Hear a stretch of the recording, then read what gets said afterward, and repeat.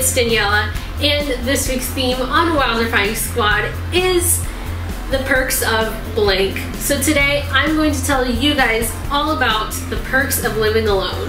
So I live alone in my own apartment. I have no roommates and I absolutely love it and there are so many perks to it and um, yeah and I've been living alone for about three years. Um, of course when I'm like not at my parents house because you know I go home for I go home for like breaks and stuff to like my parents house. But like when I'm going to school and all that I live in my apartment and it's just me. It's just me here. And um, so yeah, so I just I wanted to I wanted to just tell you all about what I love about living alone because it is not lonely. At least I don't find it lonely and it's just it's just so nice, honestly. Um, now before I get started with the video, I did want to say that um, I am very lucky and very fortunate to be able to live alone. Um, and I recognize that and I'm not trying to like brag or show off in any way. Um, I do not like take that for granted. Um, I just simply wanted to sit down and tell you all about why living alone is so great.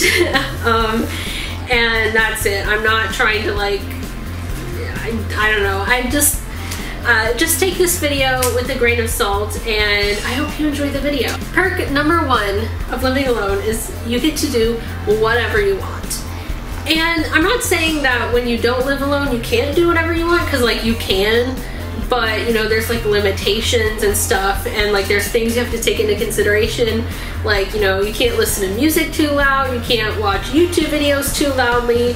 Um, you know if you live in an apartment with roommates you know you have to share the couch you have to share the TV you know you can't have anything you want on the TV at all times because you know you have to share it unless you have your own TV in your bedroom or something.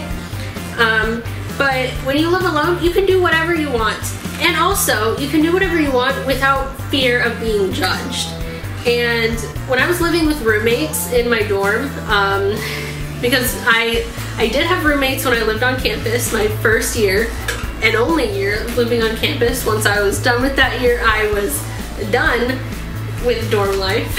um, I also did not have good roommates, but anyway, um, one thing that I like I found was like I was always afraid that like they were judging me or something, and I mean they did judge me. We're not gonna get into that though. They were just really toxic, but um, like one thing in particular was I always felt self-conscious about like filming videos because like not everyone like understands talking to a camera which is also why I hate like filming in public because like it's awkward. I feel like everyone's staring at me. Um, and I had a hard time like filming videos when my roommates were like in the room because like I don't know I just felt weird about it you know I didn't really know how to explain it to them but now that I live alone, I can film videos in my apartment whenever I want to and I don't feel like I'm being judged and it's great. Perk number two of living alone is you don't have to share anything. Now I kind of touched on this in perk number one, but yeah, you can basically, you can hog the couch, you can hog the TV, like you literally don't have to share anything. You can hog the refrigerator, you don't have to share your food. I mean, like, it's seriously so great. Like, you can, you don't have to share the space with anyone because, like, if you're the only one living in that space, I mean, you have the space to yourself. And I love that about living alone. Like, I, like, I don't have to worry about sharing anything. And it's so nice because I can just, it just makes it easier to just do whatever I want, whenever I want. And it's, it's just so nice. Perk number three of living alone is the privacy that you get you get tons of privacy when you live alone you know because no one's in the space you know? No one else is in is sharing the space with you and you get privacy which is so nice and so amazing you know? Um, and also um, to top it all off I also live on a top floor apartment which is so nice. I feel like I get even more privacy that way because that means that no one can like look into my apartment from outside, you know? Um, cause like, they can't, it's, it's too, it's too high up to be able to like look inside. Like, yeah, you can look up and see the windows, but you can't like see inside the windows because it's too far up. So I love that um, about living in a top floor apartment as well as living alone. Like I just get like the ultimate level of privacy and it's so nice. And not like I walk around naked all the time. I don't do, I don't do that. I mean, some people probably do that and if you do that, you know, more power to you. I don't do that myself, but you know, it's nice to be able to like change clothes like literally wherever. You know, I don't have to like, I'm not limited to just like changing like in my bedroom or something. And also I, I also can keep my windows open all the time, which is amazing because I like to let sunlight in. I like all that natural light, you know, and um, yeah, so it's nice the amount of privacy you get and that also ties into like you know, being able to do whatever you want without fear of being judged. Like, you know, I, I have privacy when I like film videos, so like I don't have, you know, people, you know, staring at me. So yeah. Perk number four of living alone is there are no disruptions and you don't have to worry about disrupting others. Um, and this kind of comes with a limitation, of course, because, you know, like, you do still have to worry about, you know, not disrupting your neighbors and stuff. Um, but you have more freedom, you know, like you don't have, and you don't have people like disrupting you. Like, like one thing, for example, is, you know, um, like when it gets late and stuff, like I don't have to worry about reducing the amount of light that I have, like in the room, you know? And basically, I stay up late. I'm a night owl. And so like I will be up late watching YouTube videos and I don't have to worry about like the light from like the screen, you know, disrupting someone's sleep. You know, the way that I, I had to worry about that when I had roommates and stuff, like, you know, negotiating like the lights and stuff because like that can disrupt other people's sleep. Um, living alone, I don't have to do that. I don't have to worry about that. Um, and yes, of course, like as I said, I still have to, you know, not be too loud, which I don't really do anything anyway that would like be too loud, you know. I do like practice violin and stuff, but I do that I do that during the day, so like um I like I I, I kind of have to because like I'm a music major, so like there's nothing really I can do about that, but I do that during the day and I feel like, you know, that's um like doing it during the day isn't as disruptive because people aren't like trying to sleep. And, you know, I, I don't practice at ungodly hours. You know, I don't do that, you know. Um, but yeah, it's, it's so nice to not worry about, you know, disrupting people.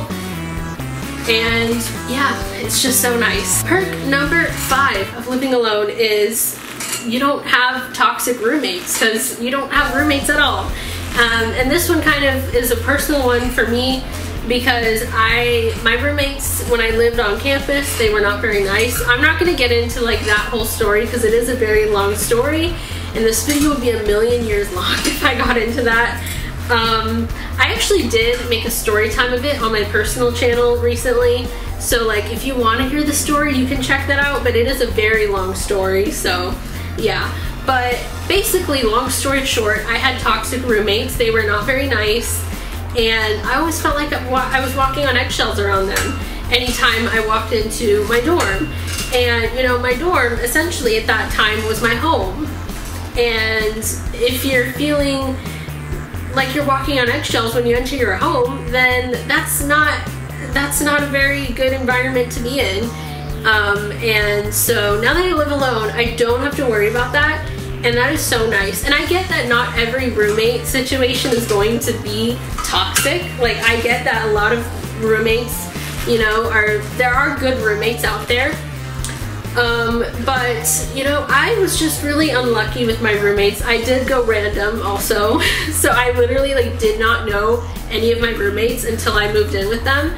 Um, and that I think kind of added to because like we didn't know each other and stuff. But anyway, um, yeah, like I live alone now and it's just so nice because it's just me. It's just me and I can do my thing and I never have to worry about walking on eggshells. So yeah. Perk number six of living alone is you have a safe haven.